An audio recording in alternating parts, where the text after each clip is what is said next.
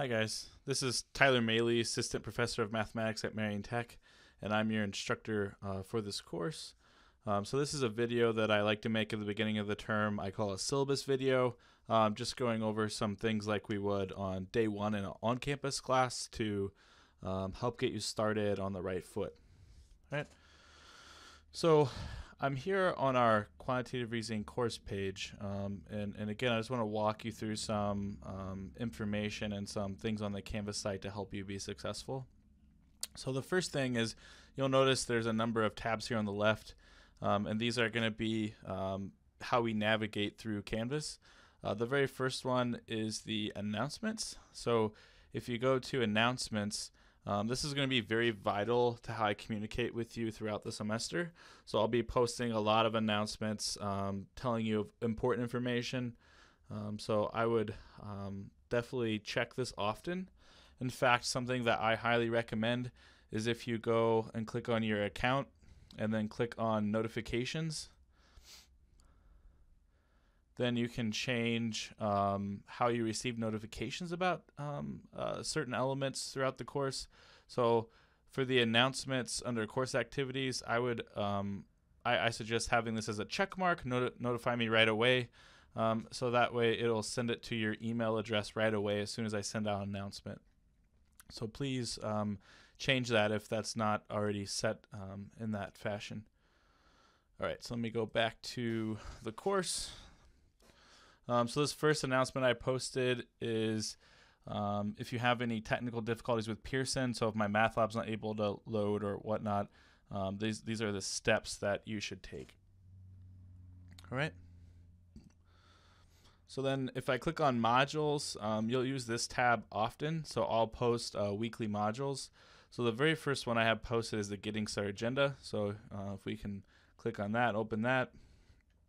So I have um, some tasks for you to do um, before you start into the course materials. So that includes reading the syllabus, um, you know, reading over the syllabus addendum, looking at um, math tutoring options, um, and, and, so forth, connecting your MyMathLab and Canvas accounts and, and so forth, right? So we're going to be using My MyMathLab um, a lot this semester as well as Canvas, right?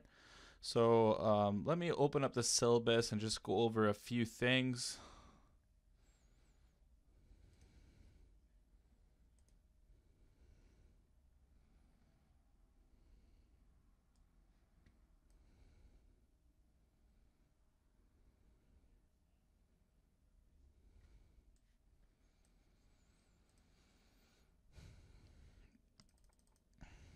Right, so um, here's just general course information. Um, so my office hours this semester um, for summer will be by appointment. Um, so if you need to meet with me, you can we can arrange that. Um, I can uh, meet through Canvas as well as on on campus in person. All right. So you can read over like the course description. So this is the textbook that we're using, under, using Understanding Mathematics by Bennett and Briggs, the seventh edition. so if you really uh, want to buy a hard copy of the book, you're more than welcome. Um, but included in your um, course fees for this class is a um, my MyMathLab access code. So that's going to give you a copy of the ebook and give you access to MyMathLab, which is um, where we'll collect um, some homework assignments through. And um, also, you need access to Microsoft Office. and I have uh, in the Getting Started agenda, I have links that show you how you can download uh, this for free um, through using your Marion Tech email address. Um, some other software that you'll need for the online version of this class, um, you you're gonna need um, some type of um, webcam mic- slash microphone um, headset to meet with your groups virtually. Right, that's to be important.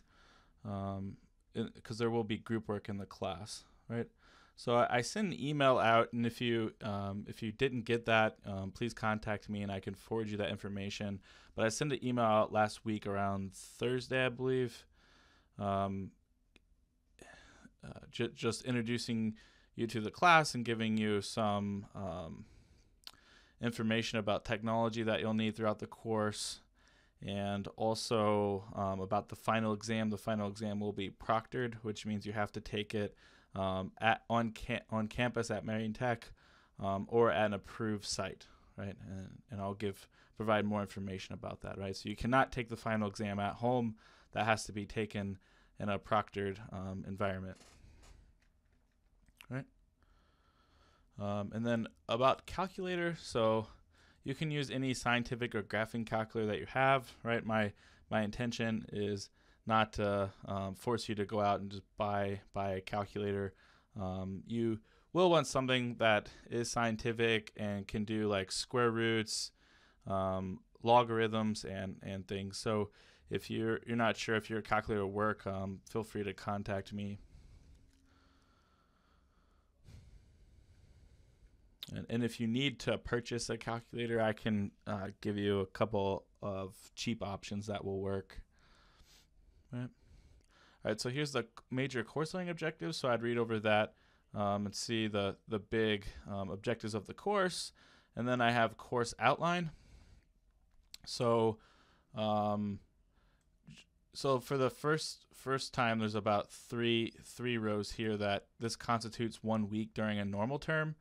Um, so about every two two of these blocks, right, is about um, one week during a 16 week curriculum, right? So something you want to be very aware of is that this course is accelerated. It's going to be double the pace that it is in a 16 week course.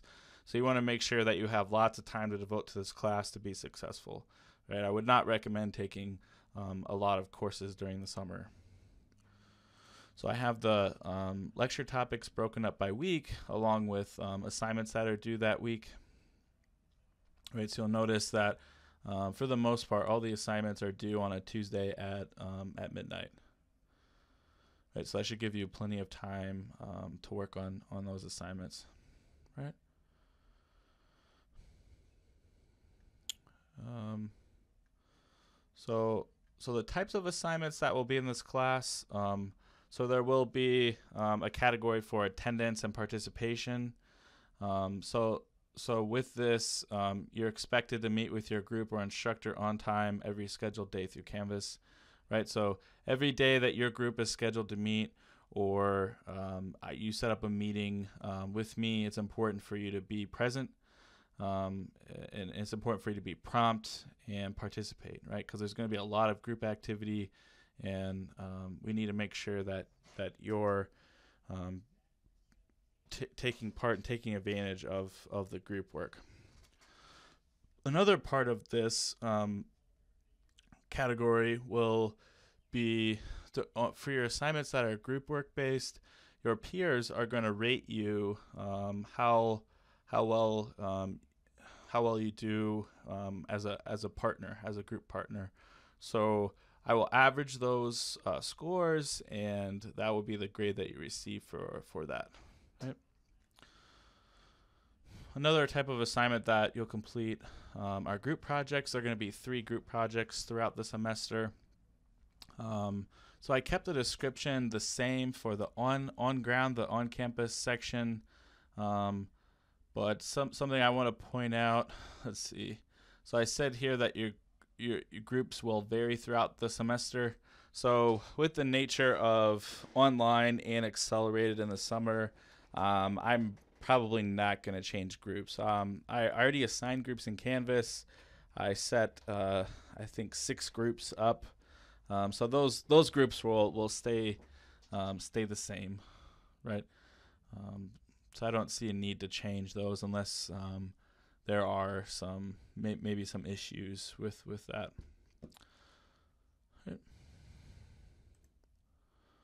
All right. So then another um, category that you'll have is a group presentation. So for each of the group projects, um, there will be some people presenting their work, and every group will present just one time um, and here is how it'll be graded, right? The distribution. And I'll give a more information and a rubric um, as we get closer to that. Um, so if we scroll up here, right? So you can see like here, um, project one is due by June 19th at 11:59 p.m. Right, so um, this is with the week two assignments. And then um, during week three, you can see here I put project one presentations, right? So during week three, um, there will be some groups that present um, present project one, and um, and I'll notify those um, those groups and help them um, make sure they're ready to to present, right? And when the group does their presentations, I'll be present and uh, be the audience, if you will. Um, but I, I really encourage and really like to see um, other um, other people that aren't presenting to be um, available during that time as well. So more information to come about that as well. All right. Um, so another thing, another topic, are what I'm calling quizzes. Um, so these are really like almost like mini projects, if you will. Um, so so these will be completed throughout as well, um, and these will be individual tasks, right? So um, I put here that that others will be group oriented, but um, for this for this section, all of the quizzes will be individual um, individually um, done, and the reason for that is I was reflecting on on this course online and I was afraid to have too many group assignments because I know it might be hard to meet uh, that frequently. Um, so so the so again the quiz will be done individually for this online section, um, and and then you just have to worry about the uh, three group projects and the group presentation um, for for the group work. And then there will be homework um, completed on uh, MyMathLab right? And that um, those have set due dates. And then um, here is the final exam. Um, so the final exam will be complete at the end of the semester, um, as I said. Excuse me. The final exam will be completed at the end, and um, end of the semester. So week during week eight and that um, will be proctored, right? So there'll be more information about the final exam in the in the near future, right? And then I just typed up some advice for seeing this class and some how how the final grade will be computed um, and so forth, right? So something, make sure I go over the credit hour definition. So for an online class, eight week term, you should expect to spend 18 hours a week on this class, right? So that seems like a lot um, but that's um, how a college um, how how much you should spend on a three credit hour college course such as this course right? So you want to be um, make sure you're on top of that and have um, that much time devoted right? So if you're taking two three credit hour classes so let's say you're taking six credit hours that's 36 hours a week. So just two classes is basically a full-time job in the summer right? So um, so make sure you're not taking too much of a load Right. All right, so um, you can read over the rest of this. I think I hit the main the main points that I want to. Right. Um, so I'll leave the the rest of this um, up up to you to read over. If you have questions, you know, please send me an email or post in the discussion board. Right. So let me go ahead and show you where those are. So if you go to the discussions tab I created some discussion boards to get us started, um, and I'll create some more as the term goes on. So I have this questions about any anything discussion board, right? So this um, this discussion board is really meant to be really general, um, more more about you know maybe Canvas or um, how the course is set up or or things of that nature. So not necessarily content is uh, per se. And then what I'm doing is I'm making these chapter um, discussion boards to, to be more topic centered, right? So like if you have a question specific to a chapter chapter two content, you could post here in the chapter two content board, right? So you could post your questions here. And I highly encourage uh, group um, other people in the class to respond to your classmates' questions in the discussion boards, and then I'll be sure you know to chime in if um, if if I if if I feel something's wrong or if I will comment like, "Oh yeah, like good job." Um, answering that and so forth, right? So I will um, respond as well, but I think it's really helpful for group for people to um, connect with one another. All right, help each other out. And then um, another discussion I have here are the course introductions. So this is an assignment that you'll complete um, in week one. So it's just a way for you to introduce yourself and reflect on a couple of things. Um, and I responded um, to mine um, to responded with my own information there as well. Right. All right, so go back to modules here.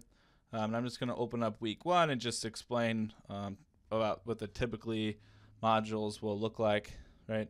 So I post a content page for the week, um, giving some information. So like week one, I have here listed that you're going to complete these sections in the textbook, um, or sorry, the textbook calls these units, but basically they're the same as sections. Um, so you can um, relate to that. And then I have here um, a lesson checklist, right? So you can click on this and download this. Um, so I'm just going to save this in my downloads. And it'll open up a Word document.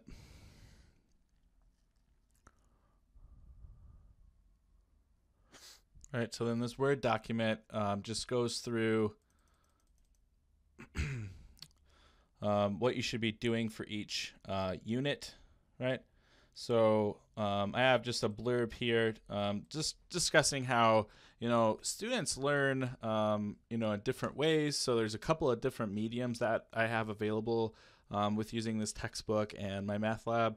Um, so the textbook is you know a great resource. It's a great um, tool to use. Uh, but there's also going to be PowerPoints, which capture some main points from the textbook.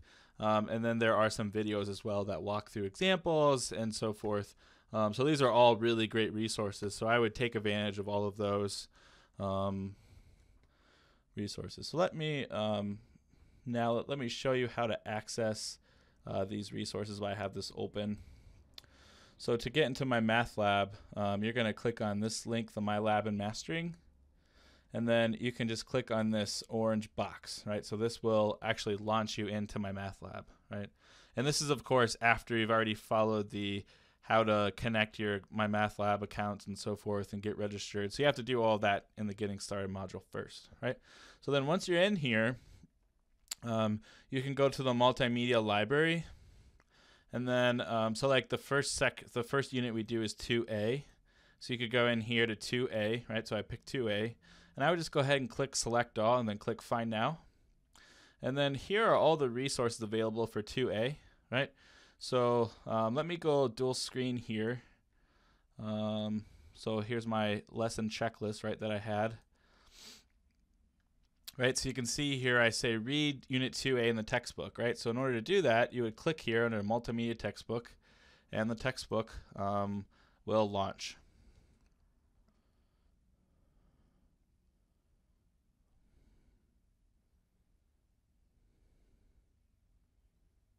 Right. So here's the textbook. Right. So I would read through this um, textbook, and um, you'll notice here that right next to Unit 2A is a video uh, link. Right. So one thing you'll notice when I type this up, I asked you certain videos to watch. Right. So you could watch the videos independently after you read, or you could do it while you read, which uh, that's that would be what I would do. Right, try to kill two birds with one stone. Right. So I'd probably start out uh, click on this video link, and it and it's opening up um, that very first video that I had listed for you to watch, right?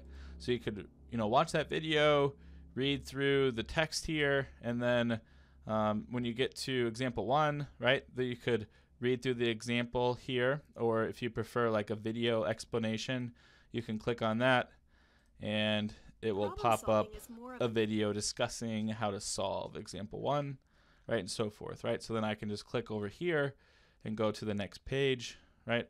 Um, and you can, I mean, you can play around with this, right? I can like zoom in and out. Um, I can also print from the textbook, right? There's a lot of options, right?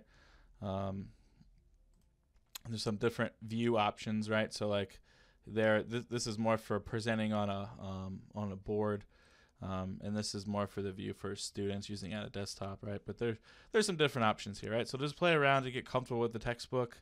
Um, you can search in the textbook. I can jump around. So if I want to go to 7A, right, I can jump straight to that and, and so forth, right?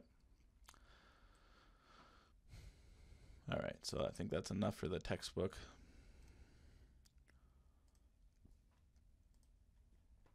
Right, so then notice here I put also, um, you can look at the PowerPoint, right? So if I click on this, it will launch the PowerPoint. So I can download this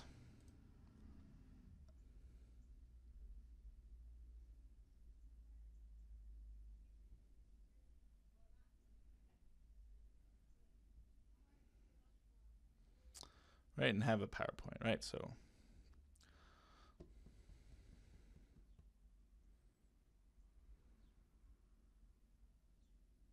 right. So here's a PowerPoint that accompanies the text, right? So this is pulling out a lot of important information in the text. There's some different examples and so forth. There's some different figures. So um, so this will be be helpful as well, right? So you might want to print that out and you know use it as notes, right? Maybe um, make some notes from the text while you're reading. Um, that's probably what I would do is print out the um, PowerPoint slides, and then you know you could make notes um, out of the book that corresponds um, to to the slides and so forth, right?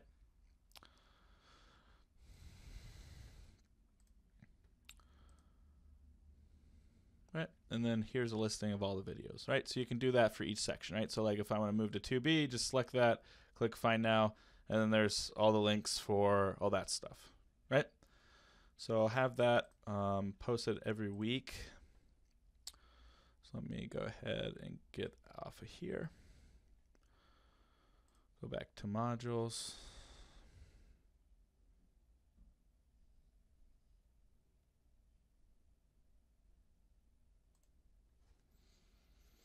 Right, and open up week one again. Right, so we went over the lesson checklist, and then here I have assignments to be completed by Tuesday, June 12th. Right, so I already told you about the course introductions. That was that discussion board. Um, this this is a group meeting with Professor Maley, right? So um, I would like to meet with um, each of the Canvas groups um, during week two, um, or during week one slash week two. Right, we need to meet earlier the better, so that way. Um, that way you're ready to start on your group project. Um, that that's will be coming due fairly soon, right? So uh, I have here just some main meeting goals, and you get some points for for being at the meeting. If you don't come to the meeting, you get um, zero of the points, right? So I'll send out like a group email or a Canvas message trying to connect everyone together that's in the group, right? Just to make that clear, and um, we'll go from there right? So be looking for that um, Canvas message or email from me in the very near future. Right. So then um, other things, so like um, chapter zero homework is to help you get used to MyMathLab functionality. Um, and then these uh, these homework assignments are in MyMathLab. So um, a nice thing about how I have it built is you can click on the link and it will just open up the homework right there. So you don't actually have to go into MyMathLab, right? Uh, but if you wanted to, you could go to my mat, my lab and mastering um, and open that up, and um, there'll be assignments here, and you can access um, the assignments that way as well, right? But keep in mind there are some assignments in MyMathLab, but there's also assignments in Canvas, right? So um, you have to be aware of both, right? So I would not um, use MyMathLab independently. Right. So I think it's better and a lot more natural just to click on click on these links here. Right. So then some other key features. So you can click on the assignments tab here and it will show you all the assignment categories and all the assignments, right, that for the course. Um, discussions already sh- shown you. Um, my grade's a little different, but you can click on grades here and um, and you can um, see your gradebook. Um, the conferences tab is a way for um, us to connect um, through Canvas, so that that'll be a good tool. Like if you want to meet with me, um, and then people, the people tab is going to show you everyone in the course, and then if you click on the group work tab, this will show your individual groups, right? So like if I click here on group two, you can see that uh, these students are assigned to group two, right? So I have uh, six groups um, there, right? And then, um, so that's pretty much it, right? So, um, so I hope the hope this is a good semester for you. Um, again, don't forget we're gonna you're gonna need at least 18 hours, somewhat 20 hours available for this course per week. Um, and I will definitely uh, be there to support you um, along the way. All right. Hope, hope this is a good semester. Thanks.